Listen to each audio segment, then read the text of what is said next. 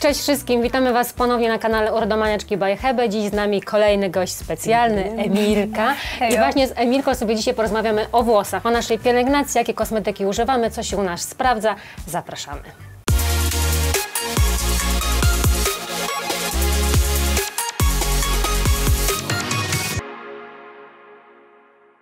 Ostatni, słuchajcie, odcinek, gdzie naszym gościem była Agnieszka, też włosomaniaczka, bardzo Wam się spodobał, więc stwierdziłyśmy, że dzisiaj zaczynamy znowu e, z tematem włosów. E, każda z nas, jak widzicie, ma całkowicie inny rodzaj włosów, więc trochę sobie zaczniemy może w ogóle od tego, bo może nie wszyscy wiedzą. Kasia? Ja mam włosy naturalne, mm, kręcone, ale ten, ten lok jest taki troszkę, wiecie co, ja to często porównuję tak roboczo do ugotowanej zupki chińskiej. Doskonale wiecie, jak wygląda makaron z zupki chińskiej, to tak też moje włosy wyglądają, jeżeli tak naprawdę są od razu po umyciu. A Emilia ma włosy, jak widzimy, kręcone. Tak, piękne kręcone, tylko że też nie miałam tak naprawdę od początku łatwo. E, Moje włosy właśnie jak już byłam mała też były bardzo Mhm. kręcone, ale miałam też przejścia hormonalne i tak dalej, więc gdzieś tam utraciłam ten skręt, E, ale na szczęście udało mi się do niego powrócić po prostu dzięki takiej świadomej e, pielęgnacji, także jestem szczęśliwa. Czyli już od jakiegoś czasu są po prostu Tak, są loki. po prostu takie jak były na początku i bez już tych Piękne. wszelkich problemów hormonalnych. Przepiękne. Ja loków nie mam, jak widzicie. Wiecie co, ja mam włosy, pomimo, że może nie narzekam na samą ilość tych włosów, to jednak one są cienkie i ja mam bardzo duży problem z tym, że rzeczywiście ta objętość bardzo szybko Ginie. ginie. Tym bardziej, że jak mam włosy krótsze, bo zazwyczaj noszę takiego boba, to ta objętość jakoś automatycznie, po prostu te włosy są odbite od nasady i ona powraca. Nie mają takiego ciężaru wtedy. Tak, dokładnie. A jeżeli mam włosy dłuższe, jak teraz powiedzmy, to niestety te włosy osiadają i troszeczkę ja zawsze w kosmetykach szukam tej objętości. E, Przejdziemy, słuchajcie, powolutku właśnie do kosmetyków, dlatego że mamy tutaj kilka bardzo fajnych propozycji i e, powiemy Wam też, dlaczego warto dobierać kosmetyki właśnie stricte do potrzeb własnych włosów i też trzeba te potrzeby znać i je rozumieć. Więc e, Katarzyna, jako posiadaczka lwiej grzywy, Dwie grzywy. pokażę Wam. Słuchajcie, ja mam tutaj markę Andrew Barton i mamy tutaj odżywkę oraz ym, szampon do włosów. I tutaj w tym składzie mamy olejek y, makadamia, mamy tutaj olejek arganowy. Bardzo fajne produkty i też super wydajne. W ogóle odżywka to jest jakiś w ogóle czat. Ja szampon zużyłam już bardzo dawno, a odżywkę to mam nawet 3 czwarte jeszcze opakowania. Tu mamy naprawdę super, super serię, bo te włosy rzeczywiście są nawilżone. Mamy te włosy wygładzone, ale bez efektu obciążenia. Włosy są sypkie, pachnące i przy takiej codziennej pielęgnacji to ta seria naprawdę świetnie się sprawdza, ale u mnie też kluczem do sukcesu, bo ja bardzo często też moje włosy stylizuję, bo ja jednak wolę, jak one są takie, wiecie, podkręcone albo na przykład prostownicą, albo lokówką, więc ja muszę zawsze pamiętać o ochronie mm, przed wysoką temperaturą. Nieważne, czy używam lokówkę, czy używam prostownicę, czy na przykład suszarkę, bo ja powiedzmy włosy suszę codziennie albo co drugi dzień i mam tutaj bardzo fajny mm, dwufazowy produkt, jest to Iron Spray i tu mamy prowitaminę B5, która bardzo fajnie chroni nam nasze włosy właśnie przed wysoką temperaturą. E, Ale słuchajcie, przejdźmy do włosów kręconych, bo mnie w ogóle zawsze Jasne. fascynuje ten temat, jak uzyskać takie loki i To jest w podziwiam. ogóle temat rzeka tak naprawdę, bo włosy kręcone mają niezłe wymaga- wymagania po prostu. E, Są właśnie, tak jak powiedziałaś, Ja są wiem. naturalnie suche po Mhm, prostu tak. i potrzebują tego nawilżenia, e, ale też pamiętajmy o tym, że trzeba to nawilżenie zamknąć, bo jeśli na przykład użyjemy jakiegoś takiego nawilżającego produktu, e, na przykład z aloesem, czy z gliceryną, czy z pantenolem, e, to musimy później użyć takiego produktu, który ma więcej olejów w składzie, właśnie żeby zamknąć nawilżenie, bo bez tego to nawilżenie gdzieś ucieknie i nawet włosy się Okej. wysuszą, więc po prostu Tak, trzeba właśnie okej. po takiej odżywce nawilżającej nałożyć też coś takiego bardziej wygładzającego i takiego emolientowego po prostu. Ja tutaj mam właśnie odżywkę od firmy Craytons. E, Jest to odżywka właśnie, która e, jest emolientowo-humektantowa. Zaraz wytłumaczę. Okej, zaczynają się skomplikowane nazwy, zaczynają się, okej. Emolientowo-humektantowa, czyli właśnie mamy tutaj e, sporo olejów. Mamy na przykład olej, słuchajcie, z piany łąkowej. Jest to taki kwiat, e, który ma właśnie takie Okej. po prostu no, białe te płatki. E, I kiedy właśnie jest taki rozprzestrzeniony na tej łące, to wygląda po prostu jak piana na niej. Dlatego właśnie Okej. stąd ta nazwa. Mamy tutaj właśnie olej z pestek moringa, mamy właśnie jakiś tam alkohol tłuszczowy i tak dalej. I też są substancje nawilżające, jak właśnie pantenol czy gliceryna. Także właśnie jest to taki kosmetyk e, e, e, który niesamowicie po prostu zmiękcza nam włosy. Moje włosy po, po jego użyciu były niesamowicie jasne. były Boże, niesamowicie miękkie. No, takie po prostu aż takie... Wydawało się, że to jest taki puszek, ale tak naprawdę jednak widać tę definicję, więc Tak. naprawdę e, bardzo polecam tę odżywkę. I A do stylizacji masz coś Właśnie, takiego? z tej samej Aha. firmy mam tutaj krem do loków. E, O! I słuchajcie, ten krem, jak patrzymy na przykład na skład, to można pomyśleć, że może być obciążający. Bo mamy tutaj na przykład właśnie olej e, z pestek moreli, mamy tutaj właśnie e, też e, silikon, mamy też wazelinę, więc można by pomyśleć, że naprawdę będzie taki obciążający, że będziemy miały taki właśnie, jak mówiłaś, taki oklap, taki, Tak, takie obciążenie i tak dalej, ale w ogóle nic, nic z tych rzeczy po prostu. Ja jestem w szoku, ale efekt był właśnie po użyciu tego kremu taki, że włosy były dalej takie właśnie bardzo miękkie, ale skręcone jak u baranka. Po prostu Aha. objętość była niesamowita, było naprawdę po prostu piękne. I mam tutaj dwa produkty. e, Charles Wallington, to jest taka fioletowa seria. I to jest właśnie Volume Bounce, czyli wszystko to, czego ja szukam. E, Objętość, uniesienie, takie odbicie od nasady. Nasady, Szampon często też daje taki efekt, że te włosy są odbite po prostu już tak naprawdę po umyciu.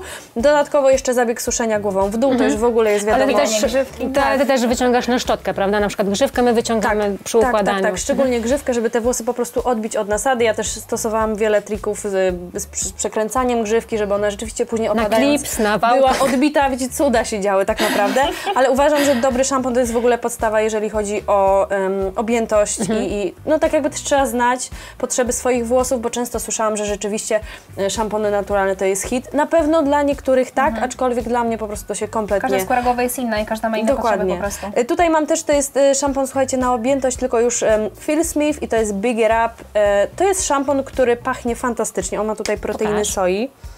Fajnie. Ale też nie jest taki przytłaczający, bo jakoś tak nie przepadam za szamponami, O, które są ładnie. tak mocno przytłaczające tym zapachem. Delikatny ma taki, no. taki One- troszkę jak proszek do prania, nie wiem, One muszą się być kojarzy, świeże. jakiś taki- Właśnie taki troszeczkę dziecięcy, no nie? Bardzo fajnie działa, przy tym e, ważne jest, żeby te szampony były oczyszczające, ładnie dodające Mhm. objętość, ale też powodowały, że te włosy można rozczesać, że te Tak. włosy są sypkie, nie są poplątane. Do stylizacji też czasem sięgam po takie spreje teksturyzujące, Mhm. czyli coś na pograniczu lakier, suchy lakier, coś co doda tej gęstości, której ja tak poszukuję.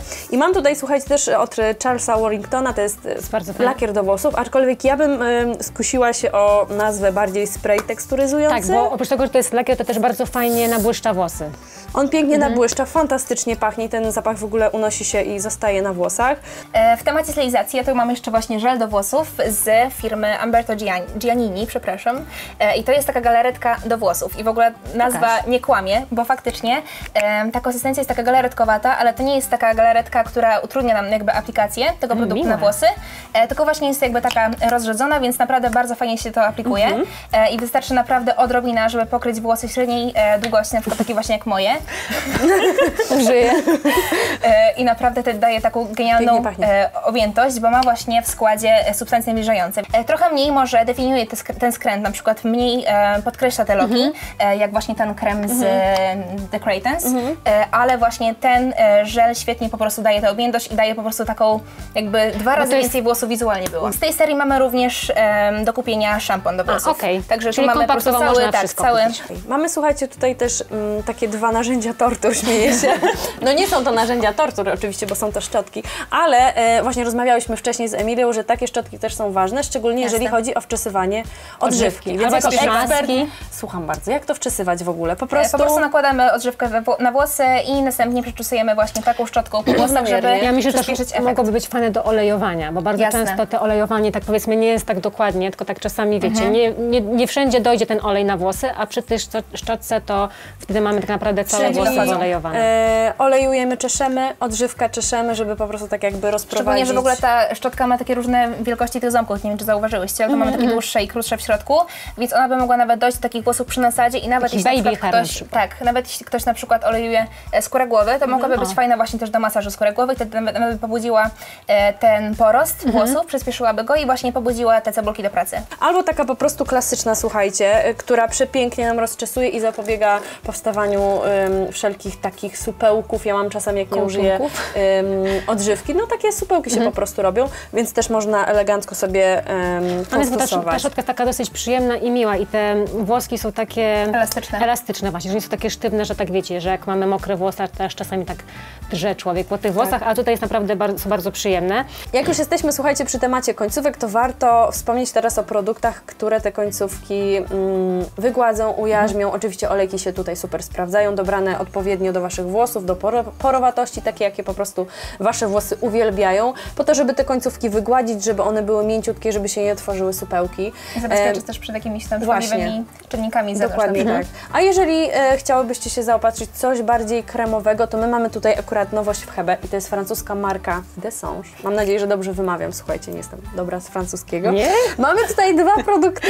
Pierwszy z nich to jest szampon odżywczy i to jest w ogóle ta biało-złota linia przeznaczona do włosów suchych, ale tutaj mam też takie serum to tutaj jest nazwane tak naprawdę olejkiem w kremie, czyli również idealny produkt do zabezpieczenia końcówek, do wygładzenia i tak naprawdę do ujarzmienia końcówek, żeby one nie były splątane, żeby później wieczorem em, nie, był, nie, nie pojawił się ten problem, ja czasami tak mam, że po prostu nie jestem w stanie końcówek rozczesać. Tutaj jest wszystko ok, ale te końce są tak strasznie Poplątane. poplątane, że nie jestem w stanie tego ogarnąć. A jeżeli chodzi o takie szybkie rozwiązania, Kasia, ty jesteś Suche szampony, specjalistką suche szampony, ja uwielbiam suche szampony, nie wyobrażam sobie w ogóle, żeby, żeby nie mieć w swojej łazience suchego szamponu, bo na pewno nie, nie raz, nie dwa zdarzyło Wam się tak, nie wiem, że wstajemy za późno, nie mamy czasu umyć głowy, więc wtedy suchy szampon wchodzi po Na prostu do ratunek. gry i na ratunek. I mamy tutaj bardzo fajne szampony i to, to jest marka Colab i tutaj ma, ja mam zapach tropikalny, taki Ja mam- masz Ty? Taki Nie, bardzo nie. jakiś elegancki, wiecie, Nie, o to w ogóle nie ma zapachu bardzo, tak naprawdę, bardzo ale taki ma najbardziej neutralny i taki najbardziej mi się w ogóle podoba, bo to mam na przykład zapach A ja jednorożca. mam jednorożca.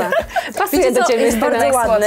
Tak, jest taki bardzo słodki. słodki, intensywny, bo wiem, że są osoby, które lubią takie pachnące mocno A włosy. ten pachnie jak normalnie jakieś perfumy po prostu ładne, Tak. nie? Także to jest w ogóle super. Ten pachnie bardzo tak owocowo-tropikalnie, ale jeżeli chodzi o te szampony, to mi się podoba to, że nie zostawiają takiego, wiecie, białego nalotu. Ja tego nienawidzę i nawet na blondynkach ten nalot biały widać, taki proszek. A ten właśnie suche szampony tego proszku nie Machaj sobie zostawiają. ten czarny, bo on jest... Naprawdę, no, najładniejszy. Jak perfumy po prostu. Zaraz powiesz, że zapach Greya daje Nie, słowo. zapach Greya jest wyjątkowym zapachem Greya tylko na, nie, nie, na nieliczne okazje. Tak, słuchajcie, wyglądał nasz przegląd profesjonalnych kosmetyków do pielęgnacji włosów. E, oczywiście pamiętamy o tym, że dobieramy e, te kosmetyki słuchając tak naprawdę Tak. potrzeb naszych włosów. Na tej podstawie dobieramy całą pielęgnację, tak żeby później, wiecie, mieć efekt po prostu tak jak od fryzjera. Oczywiście bardzo gorąco dziękujemy Emilce, że dzisiaj była z nami. Dziękujemy. Że po prostu zobaczyłyśmy na żywo w końcu jej przepiękne, fantastyczne loki, słuchajcie. E, No, i co? mam nadzieję, że będziesz nas odwiedzała częściej Oczywiście, i będziesz sobie cennymi radami tutaj dzieliła się. Oczywiście my zachęcamy Was do subskrypcji kanału Urodomaniaczki by Hebe. Pamiętajcie o tym, że widzimy się w każdą środę o godzinie 18, więc bądźcie z nami i do zobaczenia.